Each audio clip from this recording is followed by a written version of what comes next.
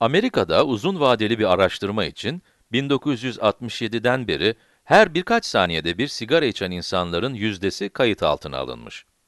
Ve bu yüzdenin aykırı değer olmaksızın negatif doğrusal bir ilişkiyle değiştiği gözlemlenmiş. Ortalama olarak bu yüzde, yani sigara içen insanların yüzdesi, her sene 0,5 puan azalmış. Soruda bize aşağıdaki grafiklerden hangisinin yukarıda verilen tanımlamaya uyduğu soruluyor. Grafikleri incelemeye başlayalım. Birinci grafiğe baktığımızda, negatif doğrusal bir ilişki görüyoruz. Yıllar geçtikçe, sigara içen insan sayısının ya da daha doğrusu yüzdesinin azaldığını görüyoruz. Burada da negatif bir ilişki var. Yıllar geçiyor ve sigara içenlerin yüzdesi azalıyor. Üçüncü grafikte de negatif bir ilişki var ama bu ilişki çok doğrusal bir ilişki değil. Bu noktalar arasına bir doğru çizecek olursak, çizginin üzerinde olmayan birkaç nokta olacaktır. Bunlar da aykırı değerleri gösterir.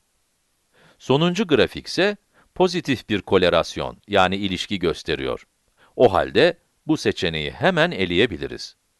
Soruda bir de bize aykırı değerler olmadığı bilgisi verilmişti. Bu yüzdenin aykırı değer olmaksızın negatif doğrusal bir ilişkiyle değiştiği söyleniyor. Eğer üçüncü grafiğe bir doğru oturtmaya çalışırsak, bu noktaları kapsayacağını düşünüyorum. Ancak buradaki bu nokta, doğrunun üzerinde olmayacaktır. Bu nokta, 1967'den 12 ya da 13 sene sonrayı, yani 1980'i gösteriyor. Bu senede doğrusallığı bozan bir veri elde edilmiş. Fakat bize doğrusallığa aykırı bir değer olmadığı söyleniyordu. O halde, üçüncü grafik de tanımlamaya uymuyor. Seçenekler ikiye düştü. Birinci ve ikinci grafik arasında kaldık. Soruda verilen son bilgi ise, yüzdenin her sene 0,5 puan azaldığı. Şimdi doğru cevabı bulmak için bu bilgiyi kullanmaya çalışalım. Birinci grafikte 1967 ile başlıyoruz ve insanların aşağı yukarı yüzde 55'i sigara içiyor.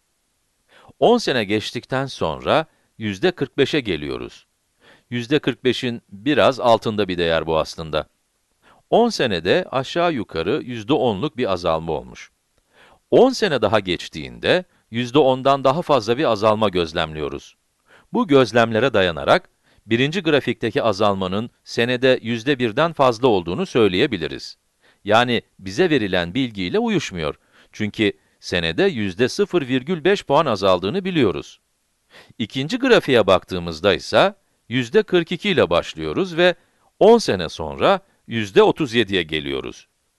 Yani 10 sene içerisinde sigara içen insanların içmeyenlere göre yüzdesinde yüzde beşlik bir düşüş yaşanmış.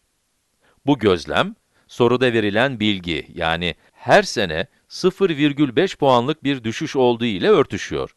O halde hem cevabı hem de 1967'den bugüne sigara içen insanların yüzdesini gösteren grafiği bulduk. Evet, ikinci grafiği seçiyorum.